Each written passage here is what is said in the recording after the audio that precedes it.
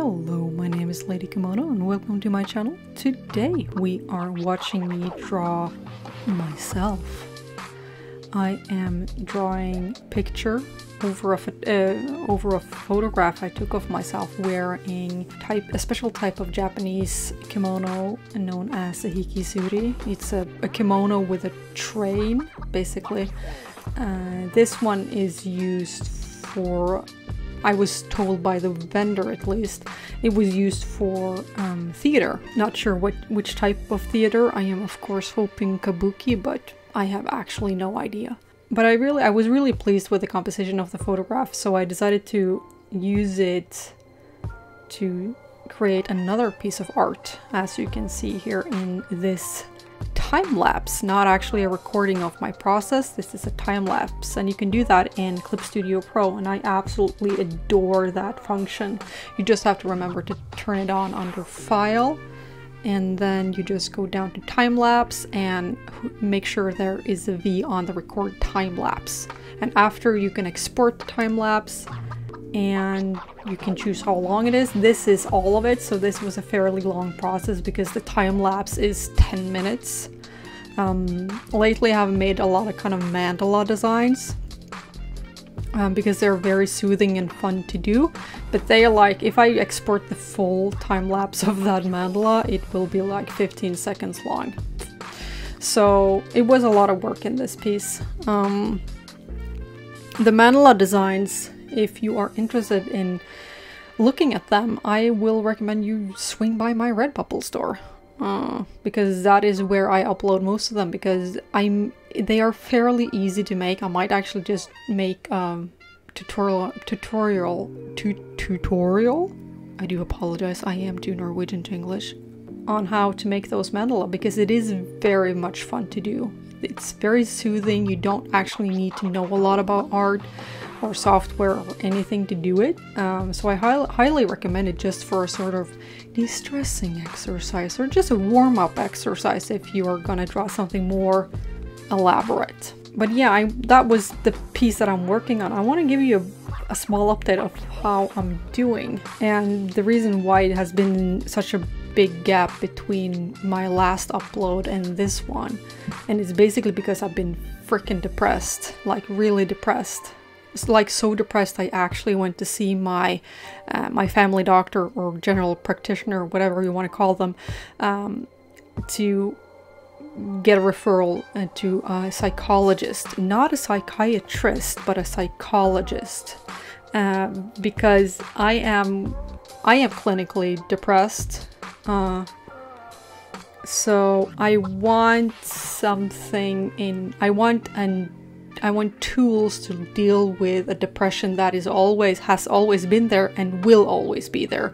I don't want to take medicine for it. I do I am on medication for my ADHD and that is fine. I just don't want to take anything more than that because I'm kind of scared if I take start on an antidepressants for instance that will do something with the chemistry so that my ADHD medication don't work or the ADHD medication makes my antidepressants not work uh, properly and I have to go through a whole process of testing like a gazillion different drugs and finding that magic combination that don't screw me up but actually give me a helping hand. So I wanted to see a psychologist so um, I could get some help like get tools that I can use to deal with my depression because I've had uh, coping mechanisms for many, many, many years. It's just that they kind of stopped working uh, because 2020 was not good. Like, I feel things on like all of my feelings is always turned up to the max. I don't get a bit sad, I get super sad. I don't get a bit excited, I get super excited.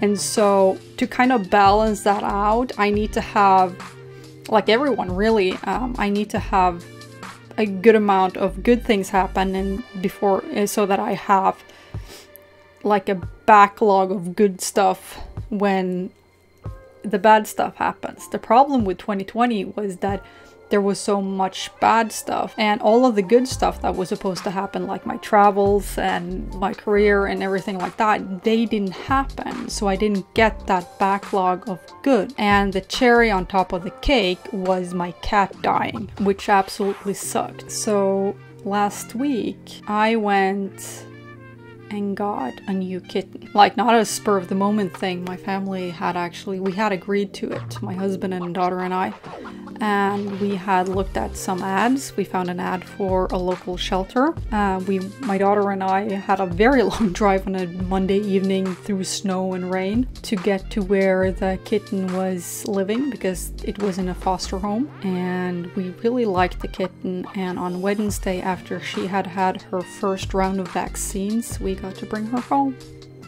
So I have. Uh, perfectly white, not perfectly white, she is white with a bit of gray on her hair and black on her snout, but she is perfect to me.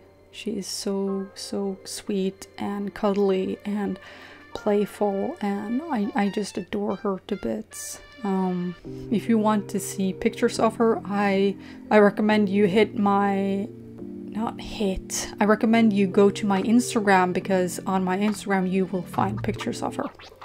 She is the cutest thing to ever wear fur, basically. Or to have fur as her skin. She doesn't wear fur. It's it's on her skin, basically. But yeah, I got to bring her home. And even on the first evening, like the day I picked her up, it was a big day for her. She had gotten her vaccines and she was separated from her mom and her four siblings and she got her, uh, her new home. So it was a lot of big changes for her that day. And I thought that when I opened the door to the cage when we got home, that we she basically would have um, escaped the cage and then found like somewhere in my office to kind of hide at for a few hours until she kind of would venture out. That was my expectation. But no, she started exploring the, in the, my office uh, immediately. She greeted my husband and my daughter. She did a bit of exploring on the second floor. We didn't want her to explore the first floor. We just thought that that would have been a bit too overwhelming. But yeah, she was exploring the first floor, no, the second floor. And she spent the rest of the evening in my lap, purring. Oh, it was so nice to hear purring and to have a cat in my lap. It was just amazing. And it kind of it lifted my depression somewhat, I have to admit. Ha having her and because she just puts a big old smile on my face when she plays. One evening she was um, I read a book to my daughter every night before bedtime and or when in bed basically and one of the evenings the kitten she actually joined us. She was laying between us in bed as I was reading. And she was so content and my daughter was so happy.